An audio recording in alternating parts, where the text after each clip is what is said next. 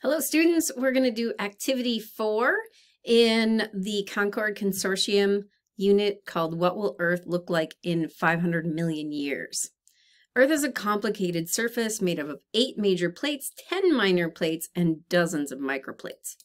In activity one, you saw GPS data in indicating that the Earth's plates are moving in different directions at different speeds, and we can see some of that here.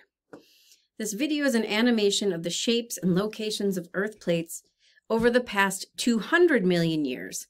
Continents are shown as shades of yellow, orange, and red. The black lines indicate the outlines of the tectonic plates.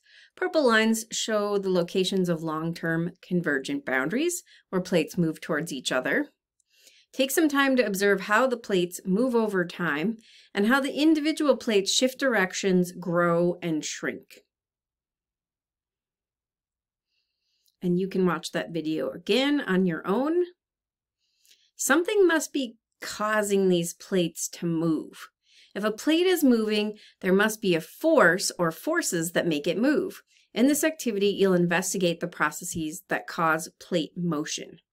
What do you think might be causing the Earth's plates to move? Do you have any evidence to support this idea? What might be causing the Earth's plates to move Here's a Cadbury egg. And a Cadbury egg is a chocolate shell and has like a gooey middle here.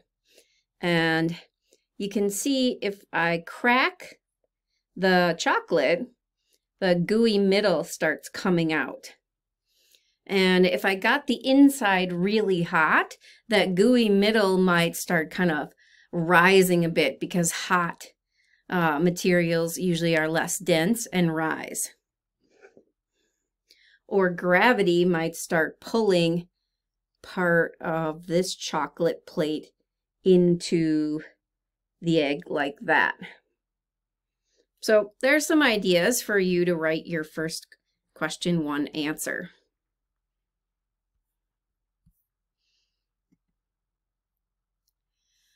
How are plates moving? In the Tectonic Explorer model, you can see the new plate material being formed at divergent boundaries and old plate material moving back into the mantle at a convergent boundary. In some, is there some connection between plate boundaries and the forces driving plate movement? Tectonic Explorer model below is set with a cross section. When you start the model, you'll see at the center of each plate on the globe is labeled with a number. Let's go check this out here. Um, there is a number right here. That's three. There's a number right here. That's four.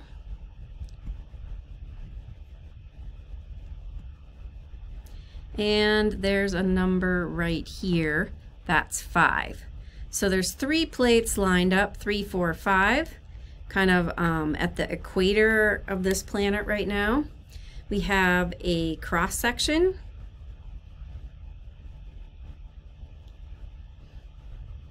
Um, right here from this part of the planet.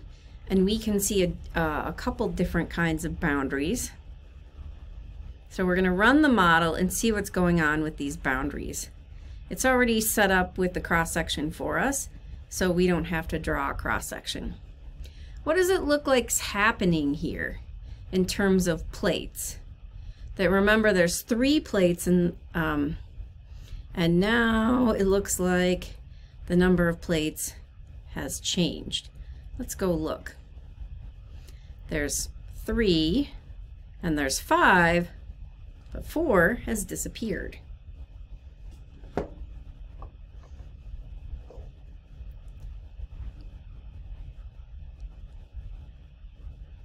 So take a snapshot of Tectonic Explorer that includes the cross-section and you can label it ABC. You also need to put on arrows that show, and I didn't do it completely here, so you have to finish it, um, which way those plates are moving. And you'll have to take your own snapshots here and set it up yourselves so that you have the correct view. Earth has layers. The solid rigid surface layer where we live is called the crust. It's kind of like the chocolate on the outside of the Cadbury egg. The crust lies on top of the mantle. The mantle is solid but less rigid than the crust and can slowly flow. The mantle flows and moves in response to heating from within in the planet. If you've ever poured honey, you understand flow. Honey, if it's cool, uh, does not just pour like water. You have to kind of wait around for it to get out of the jar. The motion of the mantle is slow and at every given moment it appears solid, but over millions of years, the seemingly solid material does move and pulls the crust along with it. Now, of course, the mantle moves a lot slower than honey. Think of the mantle as being silly putty or clay, see the pictures below, when you pull quickly on a piece, it can break, but if you pull in a long, sustained way, it can stretch. The movement of the mantle rock happens through a process called convection. You may know something about convection from how it works with air and water, but it may seem strange to think of rock moving in convection patterns. However, rock does move in the mantle with hot rock rising upwards and a result, cooler rock getting pushed down deeper into the mantle. Let's look at this uh, model here. So you can see the blue cooler rock kind of flows downward and then it starts to get hot. So the blue starts to get hot, kind of moves to the side. It once it's kind of turned and then it turns yellow because it's hotter. Then the hot rock is less dense, so it rises. Then it gets to the surface of the earth where it cools, it falls down again. And so it's constantly, the mantle is constantly cycling as it cools and heats. The core of the earth is radioactive, so it's always, well, in our lifetimes anyway, is going to remain very hot. Um, it's going to be millions of years before the planet cools down. It started out very hot when it formed, and it's still cooling.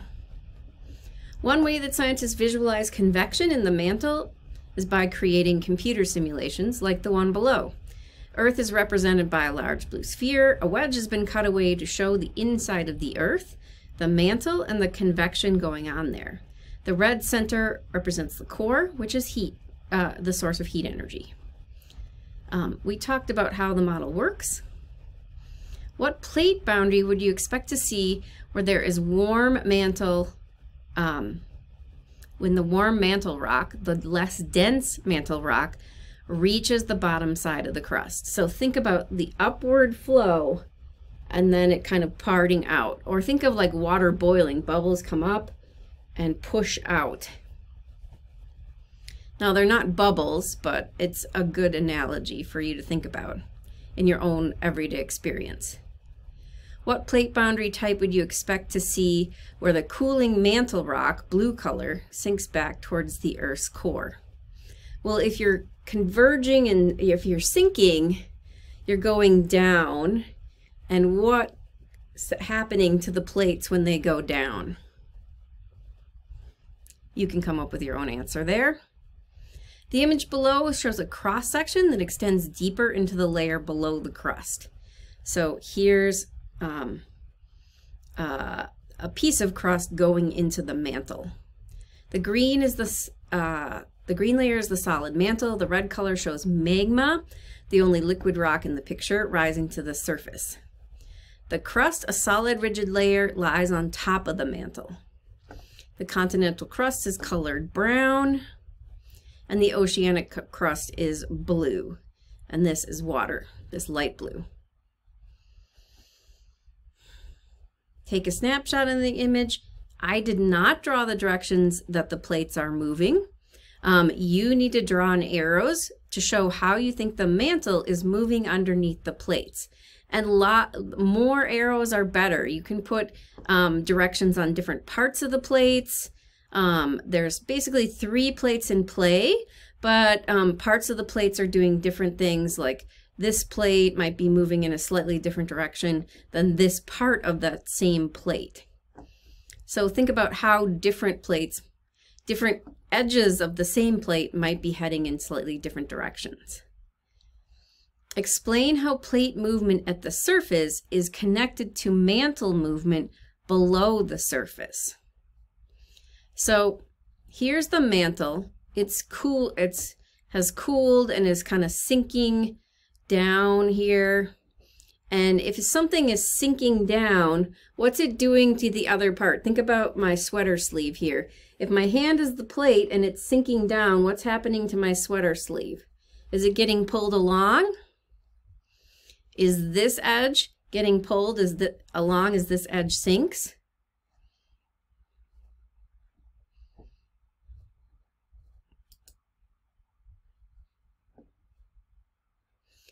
Convection and plate movement. The plates that cover the Earth's surface are continually moving.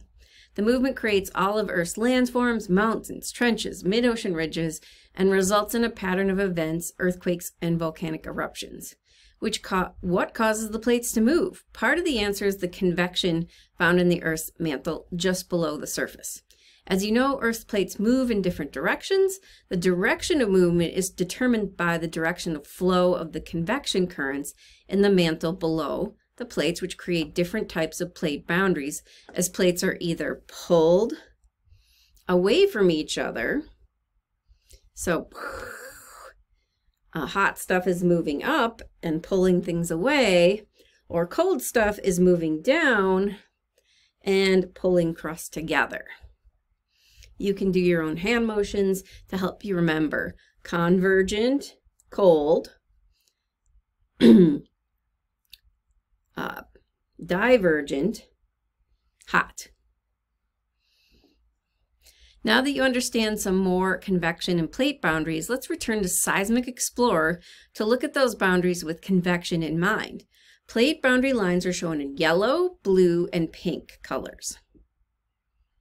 Um, let's look just to remind ourselves. Yellow is convergent, pink is transform, where the plates are just rubbing against each other, and divergent is in this sort of teal green color.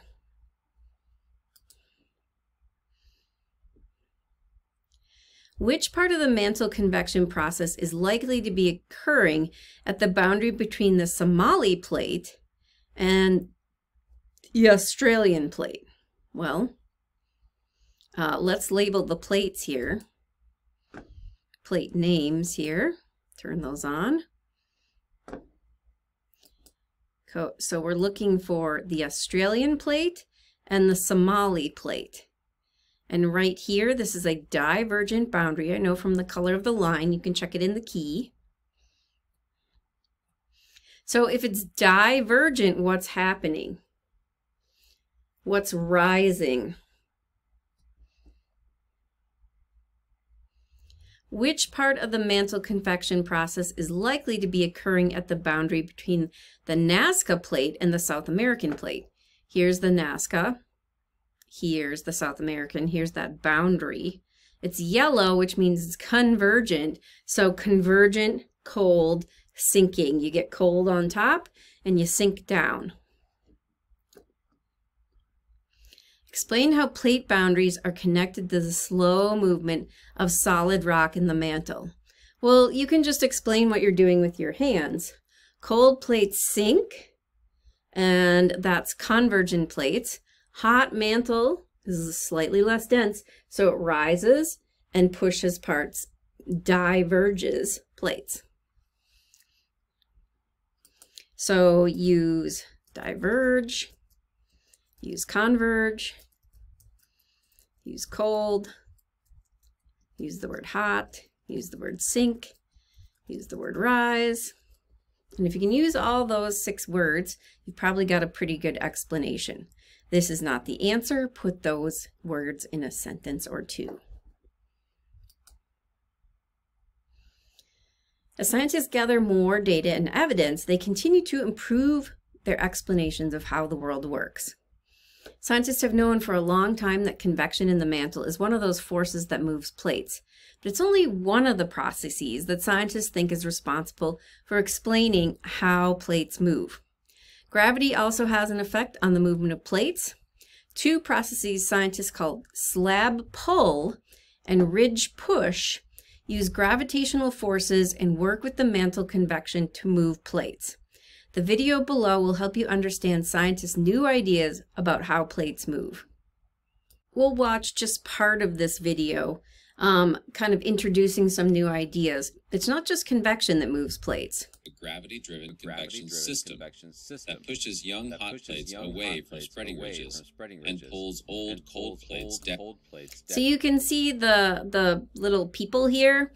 The blue people represent cold plates that gravity is um, pulling in back into the mantle, old, cold, down. Uh, this is hot, less dense, and it's rising to fill in the space between plates that are moving apart because of uh, one edge of the plate being pulled down. So here the video explains a little bit more of a modern explanation for seafloor spreading. Just not just convection, but At a spreading ridge, the ocean depth is only about 3,000 meters. Ocean depth increases with age of the underlying plate, so that where the plate is more than 80 million years old, the overlying ocean increases to 5,500 meters deep. Let's examine the formation of new oceanic plate and how that plate cools with age.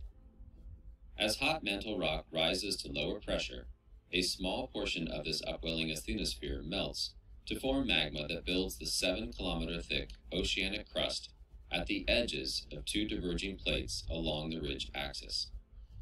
Beneath the crust at the spreading ridge, there is only a thin layer of lithospheric mantle because it is unusually hot in the upwelling zone. This hot, and therefore lower density mantle rock, supports the 2,500 meter elevation of the spreading ridge. As the plate slowly moves away from the ridge, it cools by conducting heat through the crust to the cold ocean water above. At the same time, the underlying asthenosphere cools and adds to the bottom of the lithospheric plate. Thus, although the crust maintains its thickness during migration away from the ridge, the lithospheric plate thickens and cools to create ocean basins that extend 5 kilometers in depth. A simple way to think about elevation is that the plate is young, hot, and high at the spreading ridge and becomes old, cold, and low during the aging and cooling process. So that's a, a good thing to remember as we talk about. In the middle of seafloor spreading, it's young, hot, and high because the less dense rock rises and the old, cold plate um, gets sucked down into the mantle. So you can watch the rest of the video and I highly recommend it. You can do that on your own time. At which type of boundary does ridge push occur? Well, this is ridge push. The asthenosphere is pushing that ridge apart. Slab pull, remember the little blue guys um, uh, pretend uh, down in the um, mantle pulling on that um, piece of uh, rock that was sinking. There we go. There it is. So this is um, what they call ridge pull. Now there obviously are not small blue people or large blue people as it would be pulling rock underneath the mantle. It's just there to remind you that that is um, slab pull. Gravity is pulling the old cold plate down into the mantle again. So the old cold plate is more dense, so it gets pulled down in into the mantle. And this newer plate, as it cools, starts to um, get heavier or more dense. Um, and so it uh, eases away from the boundary. Now, gravity isn't the only force here, but um, we are giving gra gravity more credit, um, and uh, it's working together with convection to move those plates. All right, done with four.